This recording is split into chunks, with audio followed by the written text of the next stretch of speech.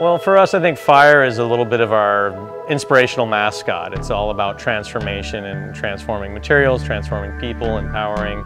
It's not really about burning things, it's more about creating with fire.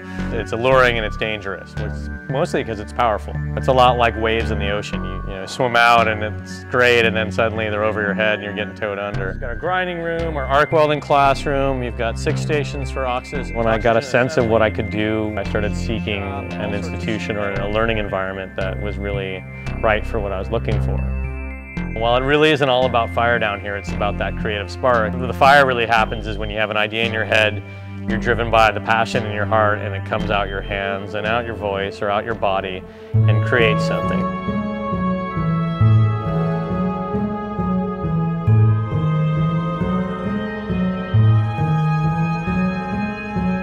Before he starts cutting, there's some little flames coming out of the tip of that torch that are a mixture of oxygen and acetylene. As an artist, I really like the fact that here at the Crucible, I, if I want to do something like a bed frame, I can go into blacksmithing and uh, blacksmith all the parts, and I can come over to welding and put it all together. And there's not a lot of places where you can do that.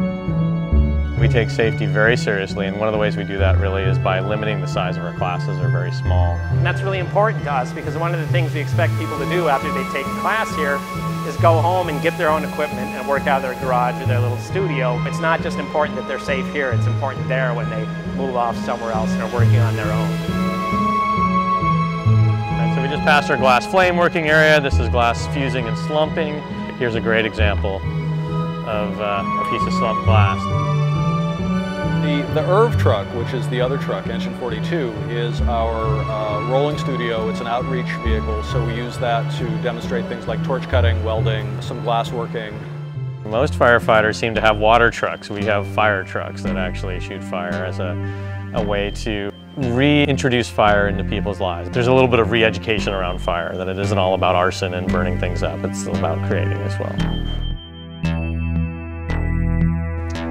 I think fire, in a lot of ways, is representative of community. It was a gathering place before television. Everybody gathered around the fire and shared stories and so forth. It's, you know, there's warmth, it's all these things. And yeah, it is, it's sort of, especially when you start pouring like molten metal, it has this sort of feeling of lava or magma, and it, sort of, you see it sort of bring out people's sort of inner inner lava of themselves in some ways. It's somewhat spiritual, it's somewhat primitive, but there's something moving inside it that taps into what's moving inside you.